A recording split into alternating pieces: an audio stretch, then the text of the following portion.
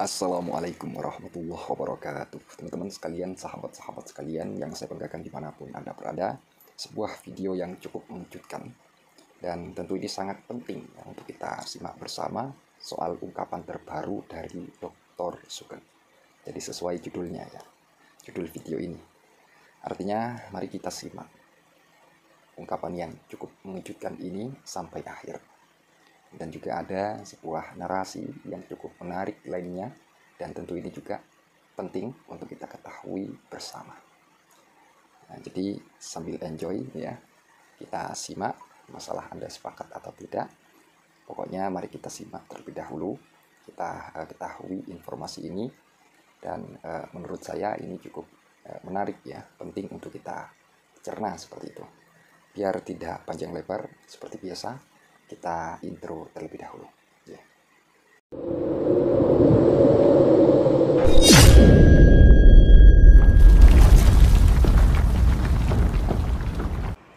Assalamualaikum warahmatullahi wabarakatuh. Teman-teman nih sedang di Semarang saya sewan ibu ya. Nah, Tolong doakan ibu saya. Semoga eh, selalu sehat gitu. Orang tua saya tinggal ibu soalnya jadi saya tertarik sedikit sih tentang apa ya tentang diskusi antara Kiai Badila dengan Dr. Saleh Basari ya eh, biarinlah berdebat itu tapi yang menarik sikap Dr. Saleh Basari meyakini Balawi bukan duriah Rasul tanpa riset apakah itu benar? itu yang benar itu yang benar kok bisa? Ingat saya dari ilmu pasti ya. Kalau dalam ilmu pangan, semua bahan pangan itu tidak boleh kalian makan sebelum terbukti aman. Berarti semua bahan pangan diragukan kan? Makanya kita sampai belajar genetika. Karena apa? Jangan sampai makanan yang kalian makan itu jadi kanker, tumor, dan semacamnya. Nggak cuma beracun. Kalau akumulatif bisa jadi kanker, tumor, itu kan kita harus belajar genetika. Jadi pendapat masalah itu benar. Kesalahan para kiai dulu adalah menerima nasab Balawi tanpa riset itu yang salah. Kalau menolak nasab Balawi tanpa riset itu benar. Balawi lah yang harus membuktikan dengan riset bahwa mereka keturunan paternal Imam Husain bin Ali. Kan klaimnya begitu. Kalau buktinya dengan buku nasab itu harus masuk kajian ilmu sejarah. Dengan metodologi ilmu sejarah harus bisa dibuktikan. Bukti-bukti itu saling mengkonfirmasi. Dan sampai hari ini dilihat dari studi Mas Rumel kan asas kesinambungannya terputus. Kenapa itu diragukan? Karena dari zaman Imam Husain sampai kapan ya? Terakhir alias Sakron ya? Atau nggak tahu lah ya kemarin Mas Itu kan nggak ada dukcapil. Itu akhirnya jadi dirak apa? Eh, terpaksa masuk ke ilmu sejarah itu harus diteliti kebenaran semua catatan itu benar atau enggak dan karena hmm, ini klaimnya adalah keturunan Imam Husain ingat keturunan berarti biologis ya kan dan kebetulan klaimnya adalah jalur paternal di mana pembuktiannya sangat mudah Pembuktiannya sangat mudah. Itu pembuktiannya adalah mengumpulkan seluruh keturunan Imam Husain. Kalau jarak genetiknya membuktikan mereka berjarak 1400 tahun yang lalu, itu bisa diterima. Tapi kalau salah satu dibanding yang lain kakek bersamanya misalnya 10.000 tahun yang lalu salah satu atau dua-duanya harus ditolak. Jadi pendapat Dr. Saleh Basari bahwa dia meyakini Balawi bukan duriah Rasul tanpa riset itu benar. Balawi lah yang harus meruntuhkan keyakinannya Mas Soleh itu. Kalau saya 2019 tidak yakin. Ya cuma tak iyain aja apa mereka Durian Rasul nggak ada buktinya iya aja lah apa ruginya gitu sampai beberapa Balawi jadi kurang ajar itu akhirnya wah ini udah nggak bener akhirnya kan pakai pencarian kebetulan sudah ada bukti ilmiah ya. Dalam level paper itu keluarga keturunan Nabi Harun itu bisa dipakai acuan. Terserah Zenavi bilang haplogrupnya macam-macam atau rumah rumah mereka nggak bahas pembahasannya di situ nggak bahas hitungannya. Orang yang terbukti punya kakek bersama. Dalam kurun waktu kurang dari 6000 tahun itu cuma dari haplogrup JP58 J2 gagal J2 itu dari dua kakek haplogrup R itu 11.800 tahun yang lalu. Berarti nggak memenuhi syarat sebagai Bani Ibrahim.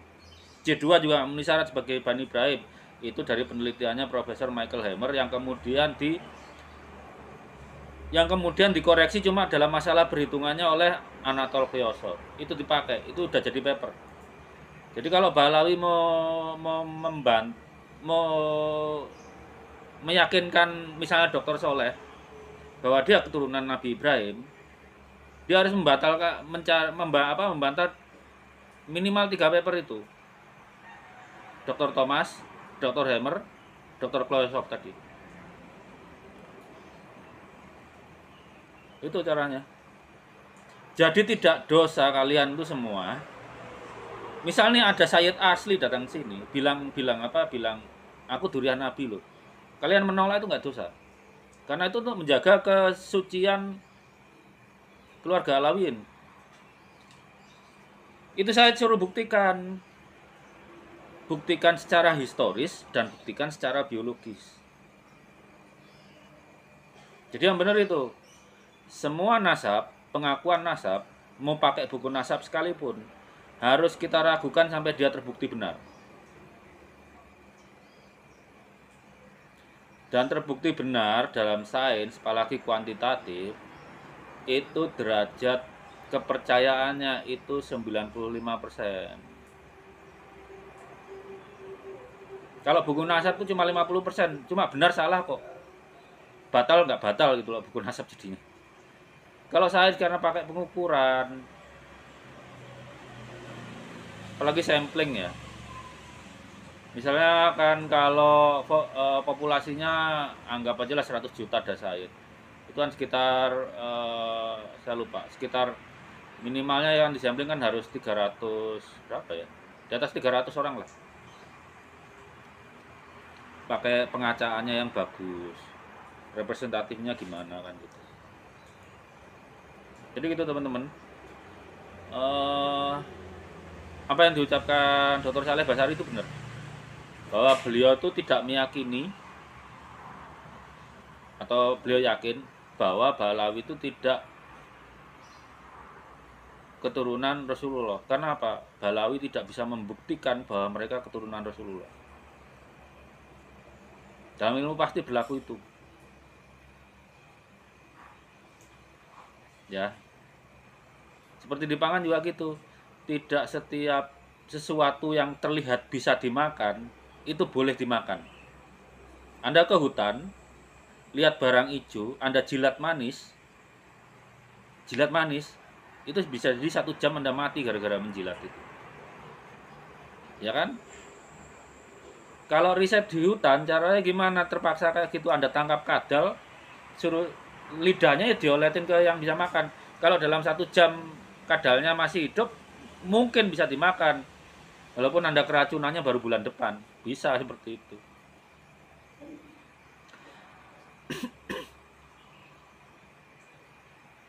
Jadi dari sekarang itu semua yang mengaku keturunan Nabi, Nabi, Nabi Muhammad dalam hal ini keturunan paternalnya karena yang bisa dibuktikan itu itu tolak saja nasabnya sampai mereka bisa membuktikan nasabnya benar. Baik dari kajian historis maupun kajian biologis. Ini kalau mau Islam maju berpikirnya harus seperti itu. Beda kalau dengan Quran kita yakini benar yang jadi masalah adalah interpretasinya benar atau salah. Makanya ada ilmu tafsir.